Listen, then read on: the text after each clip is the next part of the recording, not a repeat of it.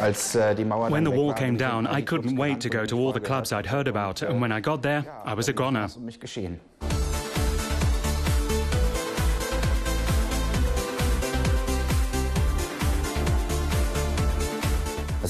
When I started out, I could never have imagined that I'd ever make it on the international scene.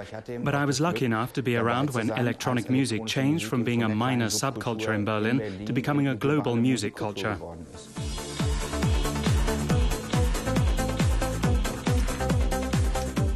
I was born on the 16th of December 1971 in Eisenhüttenstadt on the Polish border. It wasn't really my ambition to become a musician, but like your average teenager, I absolutely wanted to learn to play the guitar, so I had guitar lessons. But then I had to play East German children's songs the whole time, and that's why I'm not much good as a guitarist.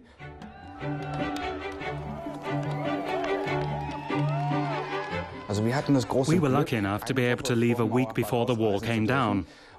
So on November the 9th, I was in Hamburg and I was watching television when I suddenly saw all these correspondents reporting live from Berlin. We shared in the euphoria from the living room.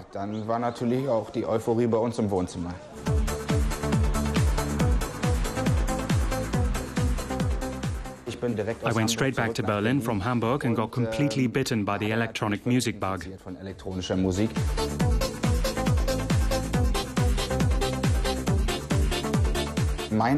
My move from regular partygoer to a DJ was more coincidental than anything else.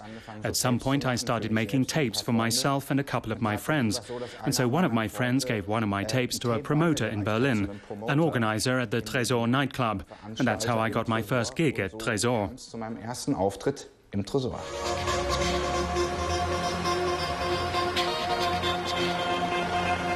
This is Tresor. It was the temple of techno back in the 90s.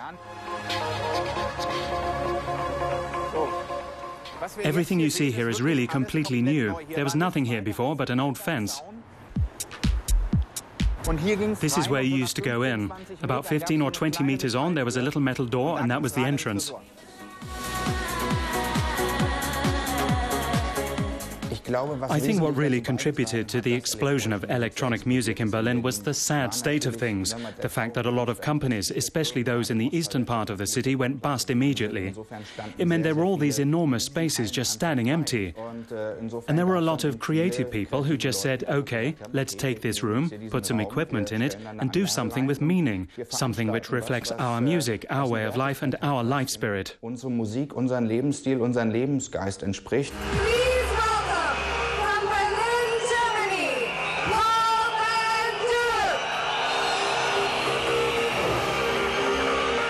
What the Love Parade did was to send a very, very positive signal from Germany all around the world, and to some extent that good vibe is still resounding today.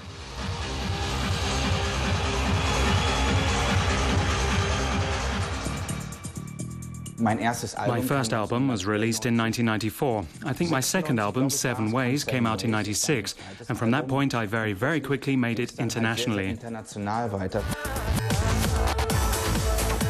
In 1999, I set up the Vandit Records label. Ultimately, it's a record company with a single philosophy, and that is that we publish music we think is really, really great.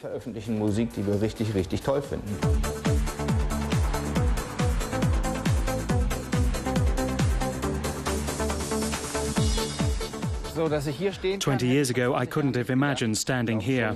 I don't think electronic music would have become the global music culture that it did if Germany hadn't reunified and the wall hadn't come tumbling down.